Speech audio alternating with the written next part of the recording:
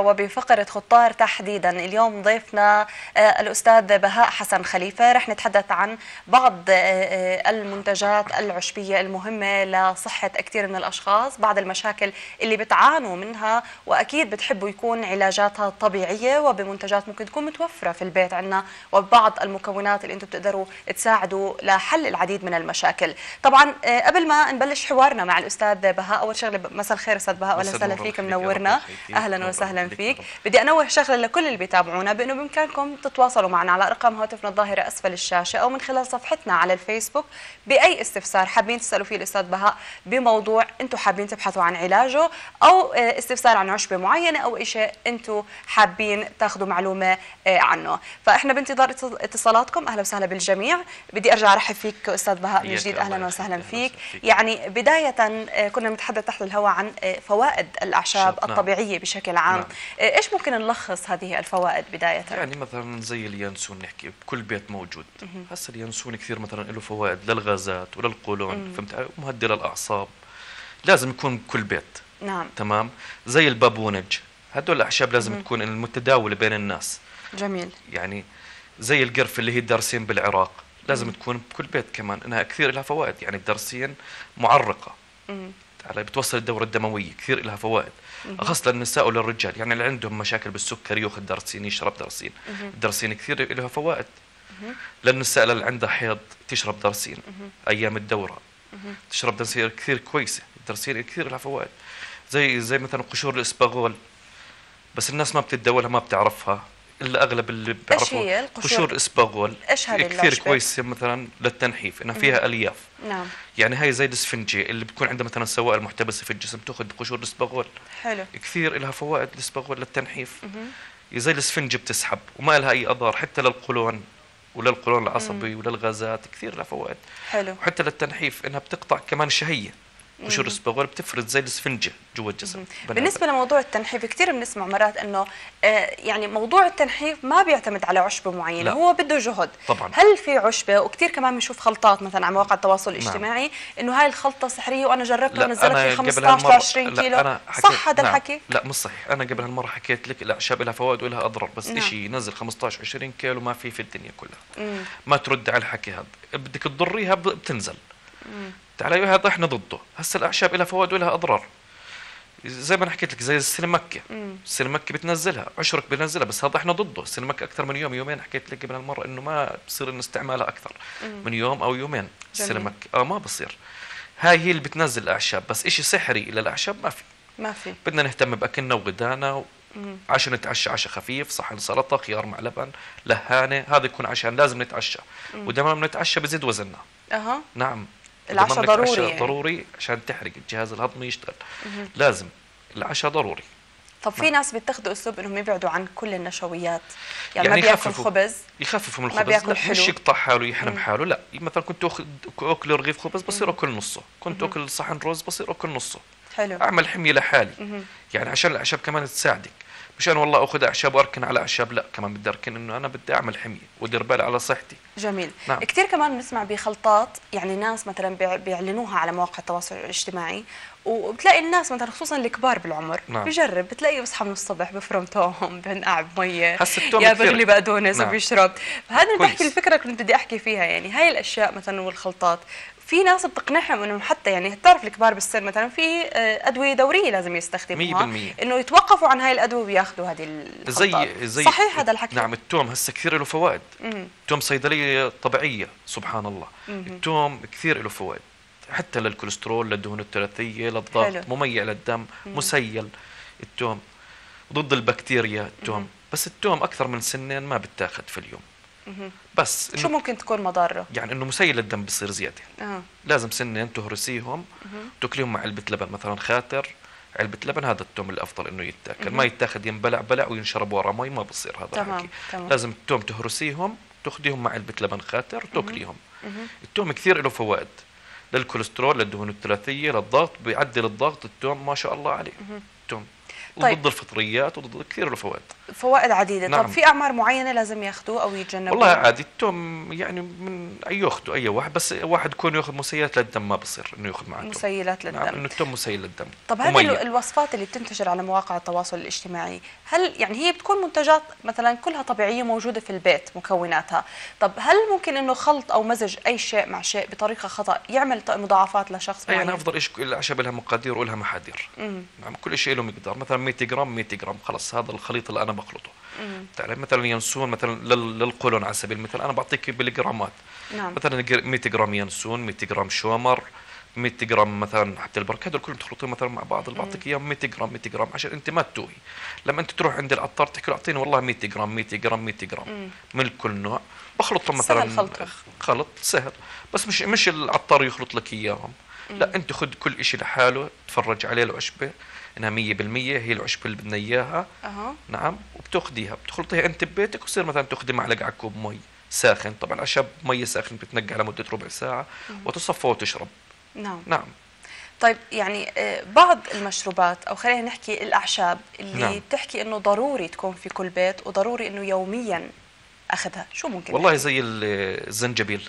الزنجبيل. الزنجبيل ليش بيحكوا الزنجبيل؟ إنه بيرفع الضغط. الزنجبيل اللي معاه. ضغط ممنوع يأخذ زنجبيل. آه اللي معاه ضغط. اللي معاه ضغط أو بيرتفع ضغط أو باخذ أدوية ضغط. مم. بس الزنجبيل بشكل عام بعطي باور للجسم وضد الأمراض. نعم. الزنجبيل علاج العليل في الزنجبيل. أها. يعني والدي رحمة الله عليه كان له. كتاب بسمي علاج العليل في الزنجبيل. خبير الأعشاب حسن خليفة. الزنجبيل كثير وكمان له فوائد. نعم. نعم. يعني فوائد حتى بتدخل حتى للجهاز الهضمي الزنجبيل. ما شاء الله عليه حتى لما معاه حتى ما تخافيش منه لو حتى واحد معاه قرحة الزنجبيل بجنن الزنجبيل معرف، بحس ما شاء الله. دائما عشان حر... حرارته نعم. عالية بتوصل يعني الدوره. الدمويه الزنجبيل الناس نعم. بتحذر منه نعم الزنجبيل كثير له فوائد بس ما واحد معاه ضغط يخطو والزنجبيل له جرعاته. معلقة صغيرة يعني على كوب حليب على كوب مي بس هي هي الزنجبيل جرعاته ما يكثر واحد بجرعاته ذكرت لي في الحلقة الماضية إنه الأطفال بالذات نتجنب نعطيهم الأعشاب. طبعا. بال... بالقدم كان ما في علاج غير الأعشاب. 100% طب إيش اللي بيفرق زمان عن هلا؟ يعني زمان مش نحكي زمان نحن نر- نرجع الناس لأيام أجدادنا. مم. يعني أنت بتعرفي والدي رحمة الله عليه كان يرجع الناس كمان لأيام أجدادنا نعم. زمان من بيتنا إحنا نحكي. بس إنه نعطي للناس أطفال واحد والله تخش بأمراض تعطيه سكري تعطيه مع ضغط طفل. أنت هسه واحد لا سمح الله كبير أجي أنا أعطيه مثلا يكون معاه هبوط في الضغط مم. أجي أعطيه مثلا آه، توم ما بصير. صح. هذا هبوط يعني حتى الهبوط أنا دائما ببعد عنه اللي معاه هبوط. يعني تمام. اللي بتعطيه شغلات اللي ترفع ضغطه مثلا. جميل. إحنا معنا اتصال من عذراء. خلينا نحكي ألو مساء الخير عذراء. وعليكم السلام. أنا شلونك؟ أهلا وسهلا فيك. طمنينا عنك كيف أمورك؟ كلها بخير؟ على مود الكرش والأرادف يعني تفضلي تفضلي حابة تسألي آه، أستاذ بهاء اي شيء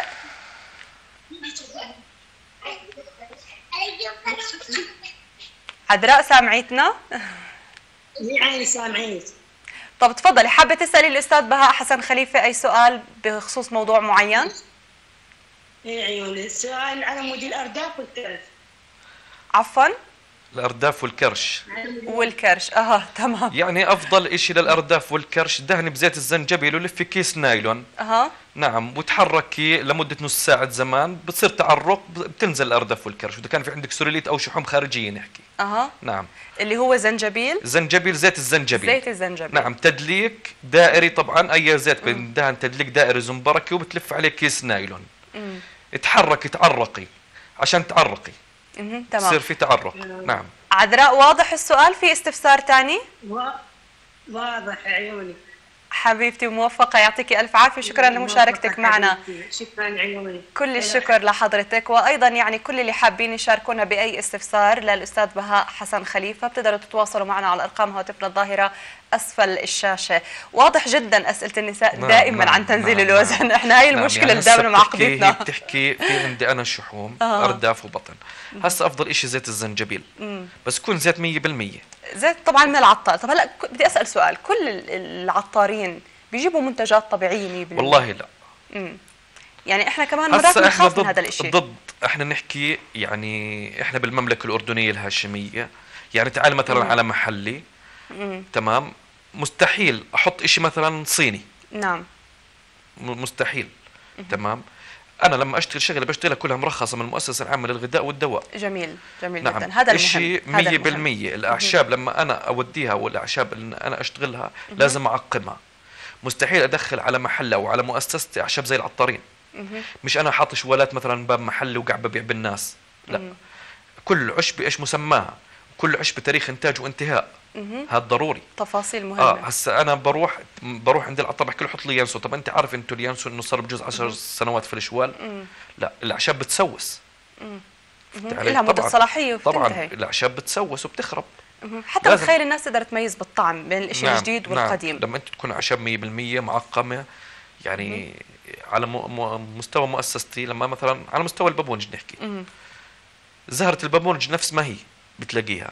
حاط عليها تاريخ إنتاج وانتهاء واسم العشبة. جميل. مش خلطة اسم العشبة. أنا ضد أي واحد بيعمل خلطات. يعني حتى والدي رحمة الله عليه لما علمنا ضد أي بني آدم يعمل خلطة مبهمة. لازم ما تعرف تكون الناس. واضحة. نعم لازم نعم. تعرف الناس. نعم. إحنا معنا اتصال عمار العبيدي من بغداد. مساء الخير عمار. يقول لك غالب غلات العين يا قناة سامرة ما بعد شغلة. والعشرة حلوة ياك يا سامرة. بس شوفتك أحلى والأجمل والأمتع قناة سامرة. لأن صديق قديم قناة سامرة تحياتي للضيف وتحياتي لك الله. وتحياتي للاتصالات وتحياتي لأجمل وأرقى وأحلى الأجمل. قناة سامرة الغالية بس حبيت أوجه السلام لكم لأن أحلى والأمتع والأجمل هي قناة سامرة في العراق تحياتي لكم وشكرا جزيلا لكم. شكرا لك عمار. إحنا سعيدين جدا بسماع صوتك يعني وصديقنا الدائم والقديم أيضا في برنامج استراحة الظهيرة. ما عندك أي استفسار عمار؟ راح عمار. بتمنى يعني دائما أوقات طيبة وسعيدة لعمار. يعني هي تعطي طاقة إيجابية نعم، ال- نعم، نعم. المهاتفات دائما تجينا على البرنامج. يعني ما شاء الله عليك. الله يسعدك يا ما رب. وأيضا يعني.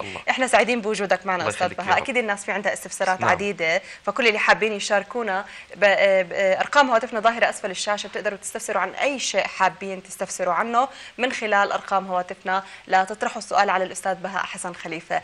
أه، بهاء خلينا نحكي يعني عن موضوع الأعشاب وطريقة حفظها في البيت. هلأ في ناس بتاخذ أعشاب أه، ما بتعرف تحفظها بطريقة صح. ممكن تنتهي مدة صلاحيتها نعم. بشكل سريع. هسه أفضل شيء كل عشبه مثلا أنت بتأخذي زي ما أنا فهمتك إيه، مسماها عشان الناس ما بتعرف شو هي. تسجل تسجل إيش اسم العشبه التاريخ اللي جبت فيها صح؟ وتاريخ الانتاج قديش المفروض تضل في البيت يعني؟ والله ثلاث سنوات. آه بتطول يعني أعشاب مدة ثلاث سنوات من تاريخ الإنتاج والإنتهاء. بتحفظيها بمرتبان. محكم يكون ما بدخله هواء ما بدخلوا هواء تمام. تحفظيها بمرتبان وتحط عليها تاريخ إنتاج وانتهاء. حلو. وتبعديها عن الاضاءه وتبعديها عن الجو اللي فيه حرارة كثير عالية. أو. رطوبة. نعم أو رطوبة. يعني يكون الجو معتدل. مش إنه والله حار كثير بتسوس الأعشاب. بتسوي لو إنك عقمتيها وخليتيها بحرارة عالية بتسوس. لازم الأعشاب تنحفظ. زي ما بنحفظ البهارات زي ما بنحفظ كذا لازم. نعم. لا، يعني هذه الطريقة بتخيل بالحفظ. ممكن في ناس آه، آه، بتركز على فكرة إنه تحفظها بطريقة آه، يعني خلينا نحكي إنه تكون بأكياس أو ببعض بتضل. مثلا بالكيس نفسه اللي بيجيبوه من عند العطار. بصير بصير هذا. الشيء صح يعني؟ بصير إنه بصير خصوصا إنه بصير كيس بلاستيك بصير عادي. عادي بس إنها ما تبعدوا عن الحرارة. ما تبع تبعدوا عن الحرارة. الكثيرة. الحامي الجو الحامي كثير. لا. في بعض المنتجات بيجيبوها من العطار بيحطوها بالفريزر. ما بصير. يعني زي الزنجبيل أنا بشوف كثير ناس بيحطوه عادي الزنجبيل عادي أنت بتجمدي فهمت آه. علي؟ عادي بصير الزنجبيل بس إنك تحطي بودرة زنجبيل لا. بودرة بال- زنجبيل لا. لا ما تحطيش أعشاب بال- بالفريزر ضد. الأعشاب ما هي بتعرق ما بصير. خصوصا بالدول اللي فيها ارتفاع لدرجات الحرارة يعني زي العراق دول الخليج بحس نعم. إنه يعني بيستخدموا هذا الشيء بحطوه بالفريزر. ما تحطيه بالفريزر. ما في داعي. احفظي بمكان درجة حرارته مش تقل 30% يعني هسه أنت مثلا أي كريم تعالي عندي يحفظ في درجة حرارة 30% يعني فوق 30 اللي بتصير هاي بضرب الكريم بفسد. مهم. تمام. يعني كل شيء له له درجة الحرارة تبع 30 يعني كان 25 مثلا في المية خ- 30% عادي بصير بس إنك فوق هالحكي هذا ما بصير. لازم بعدين كل البيوت ناس كلها مكندشة وكلها مكيفات ما في يعني يعني بالعراق كلها أكيد كوندشنات. نعم بدك تحفظي أنت بس بالفريزر جوا لا إنك تحطي اعشاب وتخزنيها. تمام نعم. آه، أغلب الناس بتركز على فكرة تناول الأعشاب في فصل الشتاء أكثر من الصيف طبعاً، يعني طبعاً. حتى دائما بيقول لك مثلا إنه لازم على السهره يكون في بريق في مثلا بابونج ينسون سون طبعا آه، القرفة. كثير بيركزوا عليها نعم، الزهورات اللي. مشكلة نعم، بشكل عام نعم. يعني هل أنت مع هذا الشيء يعني بقول لك. بالصيف إحنا ما بنحب لا. يعني أو الجسم بحاجه بالشتاء أكثر من الصيف والله يعني. لا الاثنين يعني الواحد يتعود على الأعشاب بس شغلات يعني بدك أنت كطاقة وكبور الواحد كيلو عسل. أحكيك حط عليه قرفة اللي هي الدرسين عسل عليها على القرفة بتعطيك باور وبتعطيك طاقة وكثير لها فوائد. يعني هسه القرفة أحكي لك حطيها. أو زنجبيل اعجني مع عسل وحطيه على السره وحطي لزقة. لمدة 40 يوم تشفي. كثير من الأمراض. على مستوى اعجني قرفة اللي هي القرفة أو ال- الزنجبيل اعجنيهم وحطي على السرة. أها. على المكان وحطي لزقة جروح كل يوم ضلك كرريها كرريها لمدة شهر 40 يوم كل أغلب الأمراض بتروح من جسم البني آدم. سبحان الله. سبحان الله.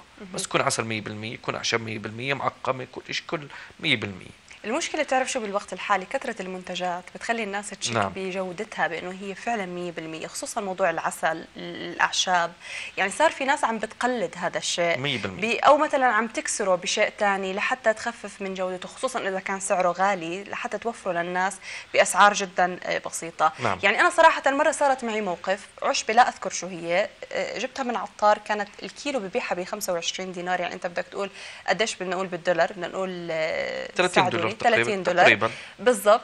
وفي مكان ثاني كانت تقريبا بخمس دنانير يعني لا يتجاوز الثلاثة طبعاً أربعة بتتخفف. دولار.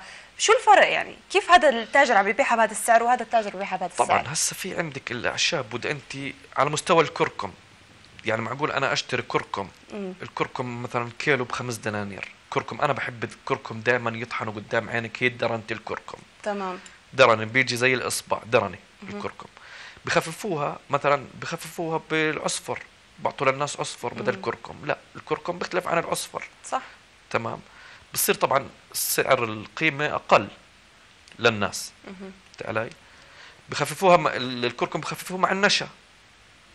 ببيعك ال- ال- ال- الكيلو أو لوقيه مثلا بلرتن طب ما في تعالي دوري للاعشاب لما إيش يكون 100% طبعا سعرها فيها. صح 100% تعالي وإنها تنطحن قدام عينك. مم. الأعشاب لازم تنطحن قدام عينك عشان تعرفي زي الكركم درنت الكركم والله أنت أو تاخذيها أنت بتطحنيها ببيتك. صح.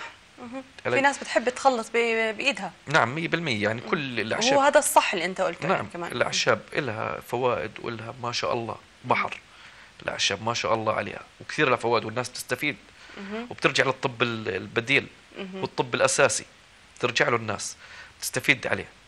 جميل جدا نعم. أنا بدي أشكرك جدا أستاذ بهاء حسن خليفة الله طبعا أنا بدي أنوه للناس إنه إحنا لقائنا معك رح يكون أسبوعي إن شاء الله. وكل الناس اللي عندها شاء الله. استفسارات بقدر تجهزها كل أسبوع لحتى آه، آه، أنا بشكر قناة سامراء وبشكرك الله يسعدك الله أهلا وسهلا. فيك وأكيد إحنا يعني في كثير ناس آه، آه، بتحاول تتصل دائما لكن صعوبة الاتصالات خيف نعم. العراق عم بتعيق إن شاء هذا الله الموضوع المرة الجاية إن شاء الله. فإحنا إن شاء الله بكل حلقة رح نفتح مجال بكل إن شاء أسبوع الله ونساعد أي حدا إن عنده شاء الله ونساعد. الناس كمان ونكسب في الناس اجر باذن إن الله شاء الله تعالى يعطيك ألف الله عافية الله. نورتنا الله اليوم. وسعيدين جدا بوجودك معنا أهلا وسهلا رب. فيك